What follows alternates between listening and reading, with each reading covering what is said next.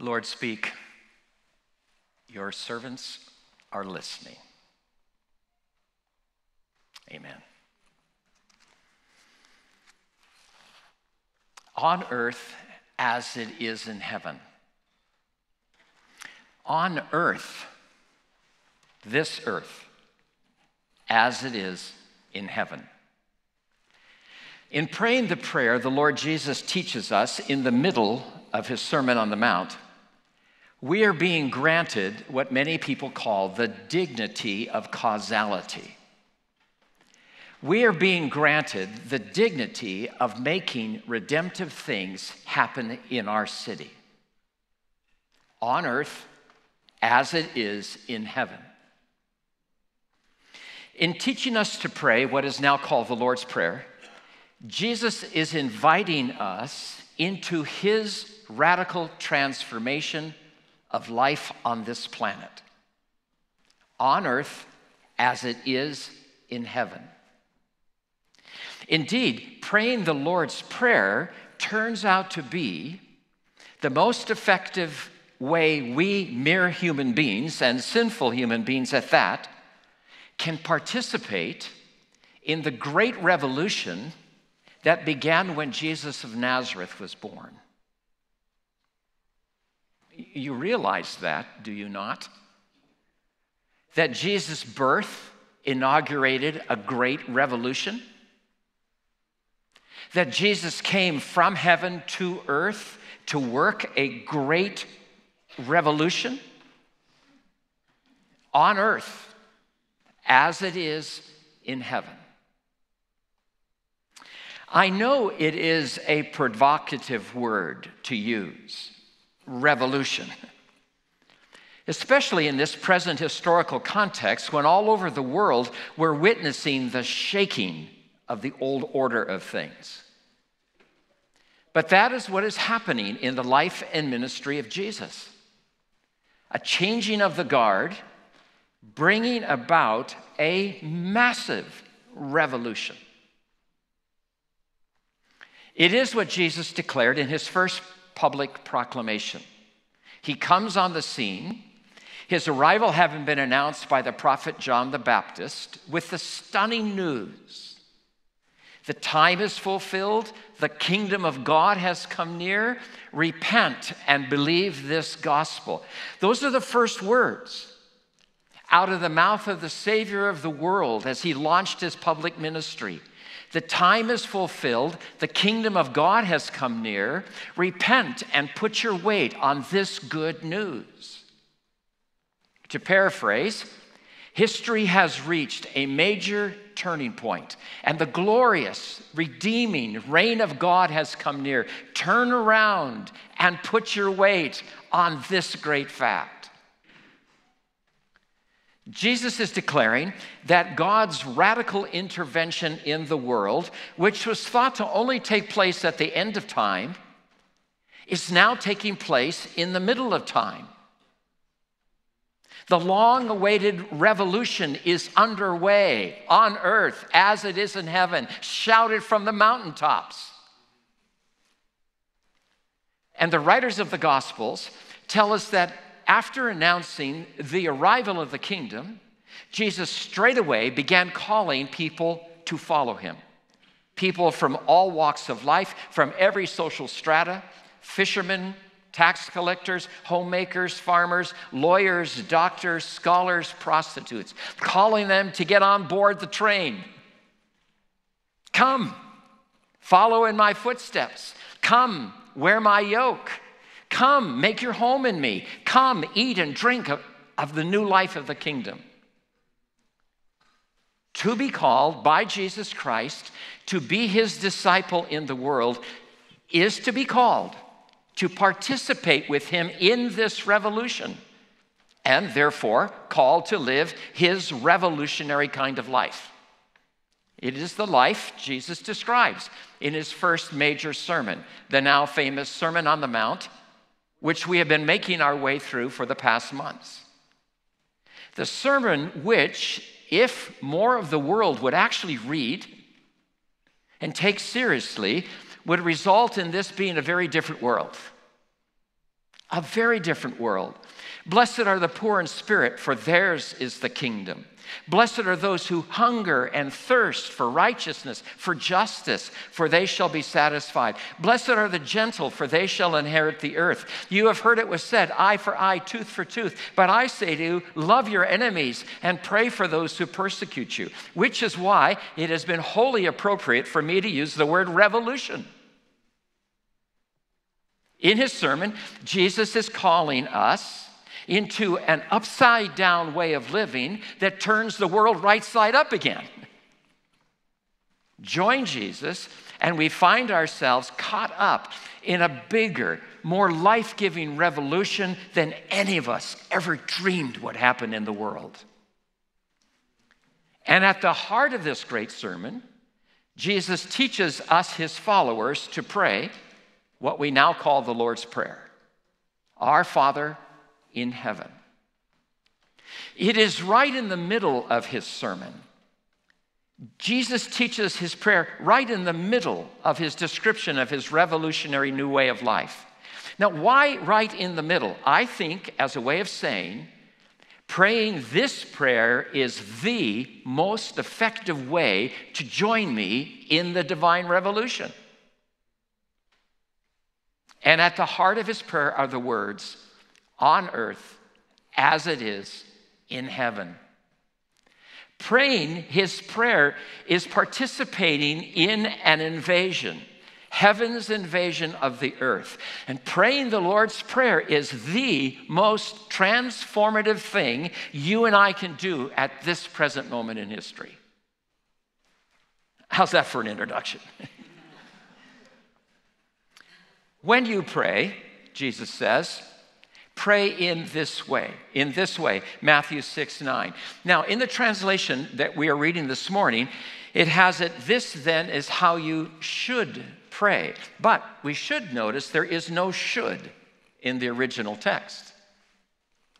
Literally, it is thusly. When you pray, pray thusly. Meaning, Jesus is not telling us that we should pray using these exact words in this exact order. On another occasion, Jesus gave his prayer with slightly different words. And I would imagine Jesus taught this prayer using slightly other wording in other settings. Pray thusly. I think it is Jesus' way of saying, here is a way to pray that pleases my Father. Or, here is a way to pray without having to wonder if God is okay with the way we're praying. Now, in this message this morning, I'm simply going to make a number of observations about the prayer as a whole. And then in the next two Sundays, Chris and Alita will unpack it in more depth. But before making these observations, I, I want to speak to a question I've been asking for some time. I would imagine it's a question some of you have been asking. Some of you might know that I love to pray the Psalms. I do not know where I would be without praying the Psalms. Every morning since my birthday in 1989, long before some of you were born. I don't know where I'd be without the Psalms. So I've been asking, why does Jesus not say, when you pray, open the prayer book and begin with the first psalm and pray your way into the heart of God. I, for one, would not be surprised if he said that. For the simple reason that Jesus himself grew up praying the Psalms. We know this because his mother, Mary, as a faithful, devout Jew, prayed the psalm. This is reflected in the song she sang when she became pregnant with the world's Redeemer. She sings her Magnificat. My soul magnifies the Lord and rejoices in God my Savior, for he has done great things for me. Going on and using words and images from the Psalms to unfold the revolution she saw her son would work in the world. So Jesus learned to pray, praying the Psalms with his mother.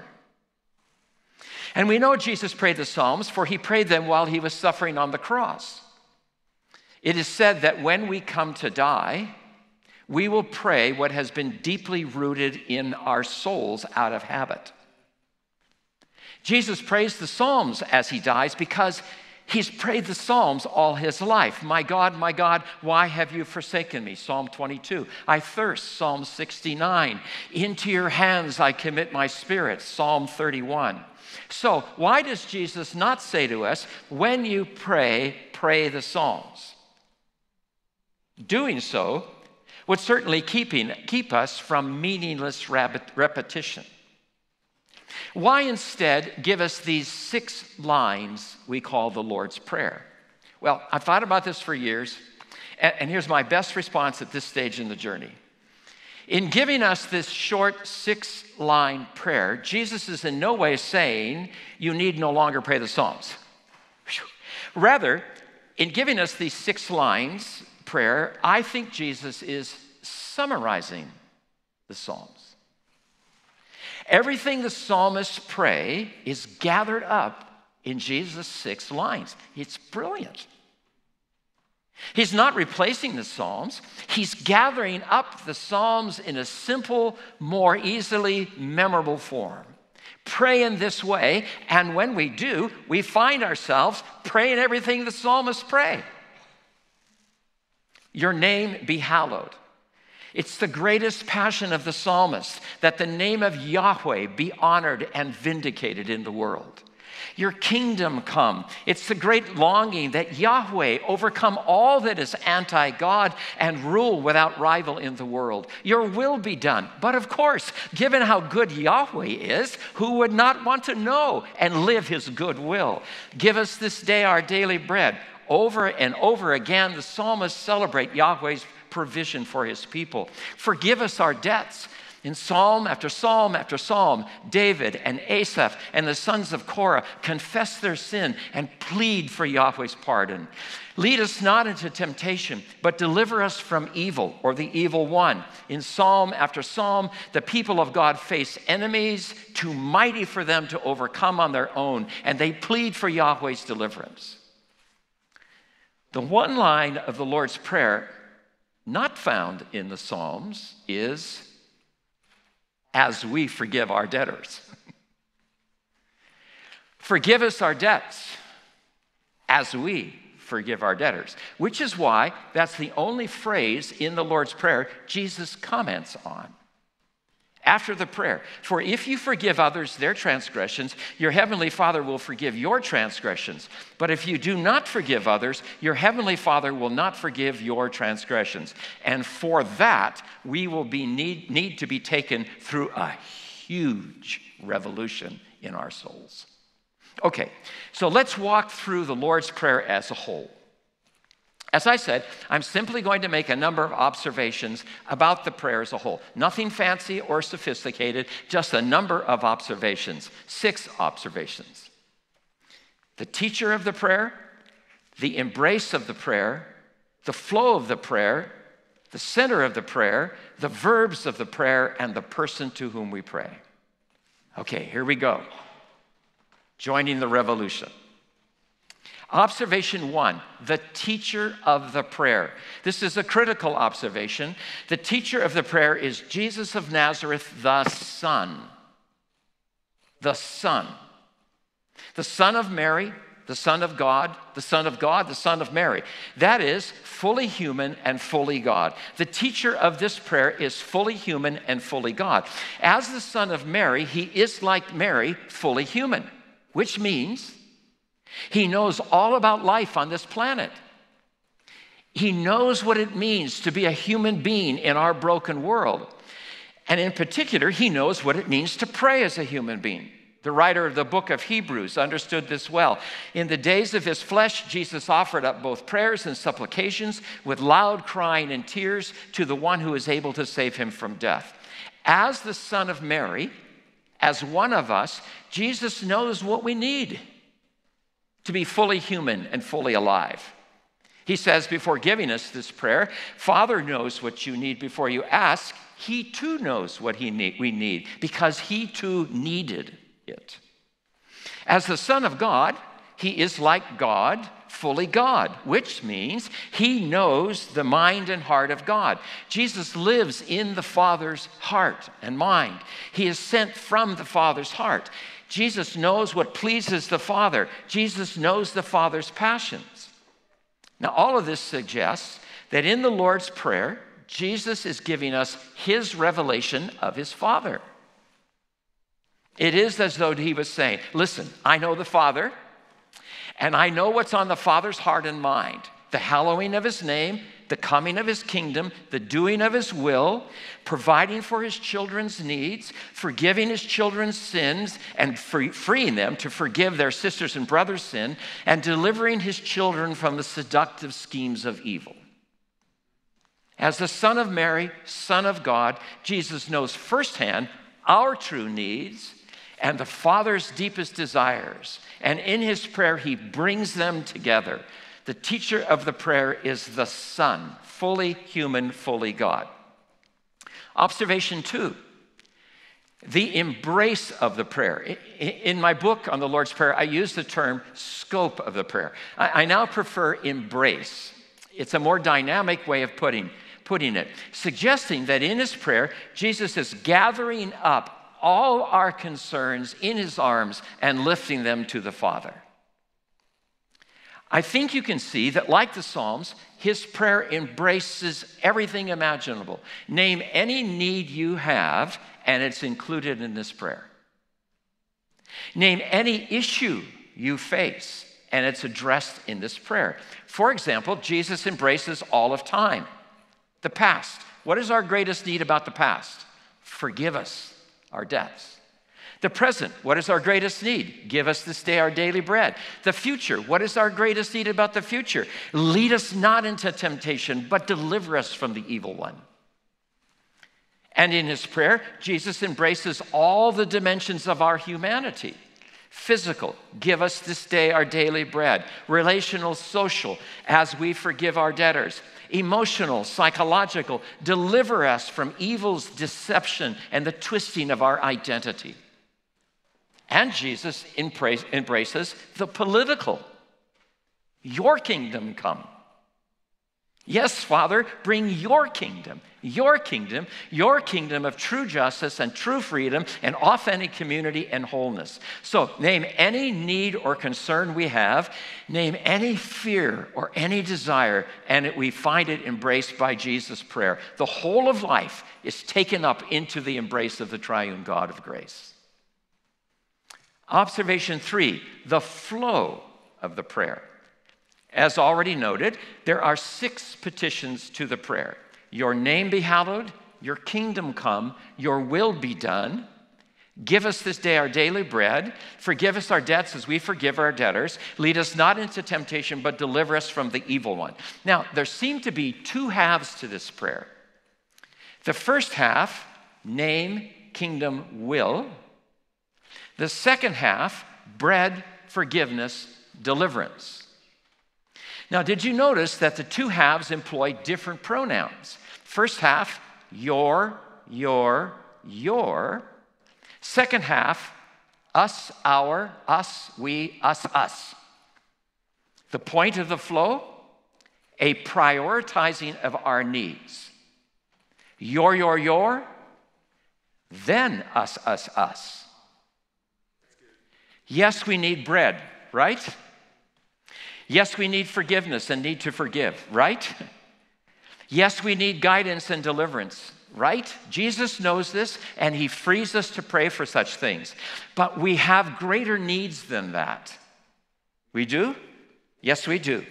We need name, kingdom, will. We need for the Father's name to be hallowed in us and in the world. We need the Father's kingdom to come in us and in the world. We need the Father's will to be done in us and in the world. Yes, we will experience human flourishing when we have our daily bread, when our sins are forgiven, and when we forgive others, when we are guided into the path of life and protected from the evil one. But Jesus is telling us that we will finally experience full human flourishing when our Father's name is treated with reverence and dignity in our hearts and in the world, when our Father's kingdom comes in all its fullness, and when our Father's will is accomplished in our wills and in the will of the world. Thus, the flow of the prayer your before us. Because more critical than the us requests are the your requests. The fact is that when we focus on the your requests, the us requests are put in their proper perspective. Indeed, it turns out that the us requests are actually absorbed into the your requests. So, the floor, flow of the prayer. Observation four. See, we're moving along at a good pace. Observation four. what I'm chuckling about is it wasn't 13 minutes in that section.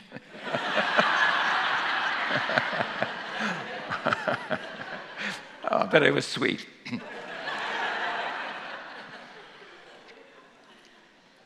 really sweet. okay. had, had to look at the boss, make sure I didn't do something dumb right now. okay, where was that? Observation four, the center of the prayer.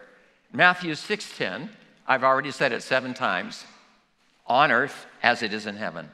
It's literally as in heaven, so also on earth. Now, I think that this goes with all six petitions. It goes with the three before the center and it goes with the three after the center. Your name be hallowed on earth as it is in heaven. Your kingdom come on earth as it is in heaven. Your will be done on earth as it is in heaven. And give us this day our daily bread on earth as it is in heaven. Forgive us our debts as we forgive our debtors on earth as it is in heaven. Lead us not into temptation, but deliver us from evil on earth as it is in heaven. Cool? No? I think this phrase, on earth as it is in heaven, captures the passion of the gospel.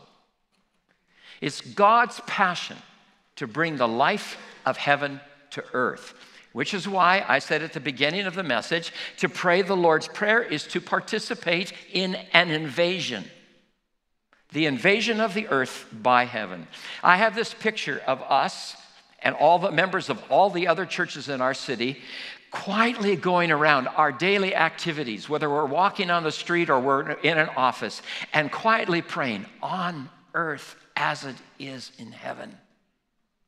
Imagine going to a board meeting, and before you go into the board meeting, on earth as it is in heaven. And can you imagine what would happen? Now, I'm wondering if this center of the prayer might not signal another way to look at the structures of the prayer. I wonder if Jesus has structured the prayer in a parallelism, a stair step parallelism. I think we have a slide for that. It's also called a chiasm. Do we have that slide up there? Yeah.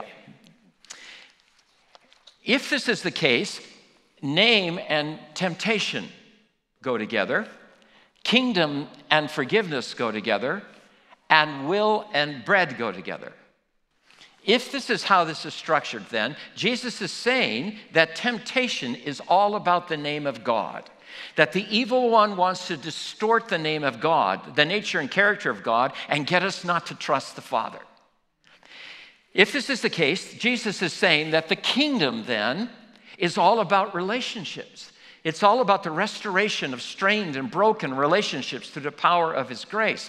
And Jesus is saying then that the will of God is all about making it possible for human beings to live sustained and productive lives, all on earth as it is in heaven. Observation five the verbs of the prayer. And here's where things really get exciting, especially the verbs in the first half be hallowed come be done. They're bold verbs. They're very bold verbs. In the original, the verbs come first in the sentence for emphasis. So it's not your name be hallowed, but be hallowed your name. It's not your kingdom come, but come your kingdom. It's not your will be done, but done be done your will. Now, there are two things we need to know about these verbs. The first is that each of them is in the imperative mood. Remember what the imperative mood is all about? What is it? command especially in the Greek language, which is the language of Matthew 6. The imperative mood is the eh, mood of command do this, do that, be this, be that, come, go, stop. Imperative. Now, in the Greek language, the imperative is never used in addressing a superior. It's never used in addressing a superior. Never.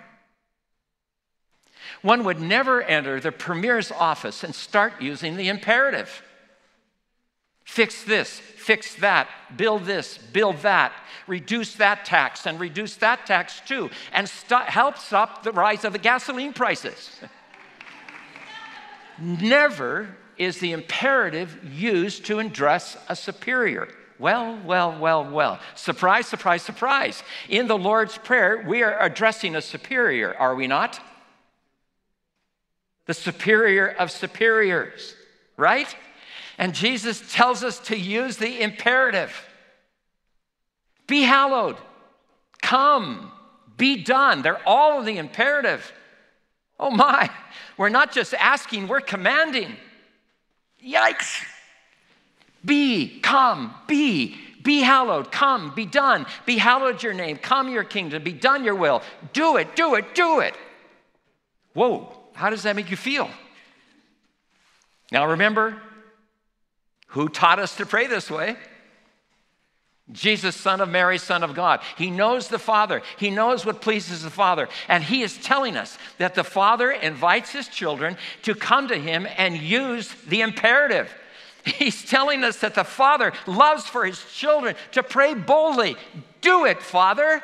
And I quickly add, please. The second thing we need to know about the verbs is they're in the passive voice. Imperative mood, passive voice. Now, why? Why passive? Partly to bring a note of reverence. It kind of softens this sense of ordering God about. But mostly because only God can do it. Only God can hallow his name. Only God can bring his kingdom. Only God can do God's will. So the prayer is not what we tend to make it. The prayer is not, let us hallow your name, or let us bring your kingdom, or let us do your will. We are not the ones doing it. We're not the subject of these verbs. The Father is the subject of the verbs because only the Father can do it. Are you following me? So the prayer is, Father, you do it. We cannot. So you, you do it. You hallow your name on earth as it is in heaven. You bring your kingdom on earth as it is in heaven. You do your will on earth as it is in heaven. We must resist this horizontalizing of the vertical. The Father is the subject of the verbs, not us. Father, right now, your name is being hallowed in heaven. Hallow it on the earth. We can't. You must. Too bold? Father, right now your kingdom has come in heaven. Make it come on earth. Father, right now your will is being done in heaven. Do it now on earth. How are you now feeling? I feel as though a ton of bricks just got off my soul. Father, you do it, for only you can do it. Bold verbs, very bold verbs. And then op- observation six the one to whom we pray.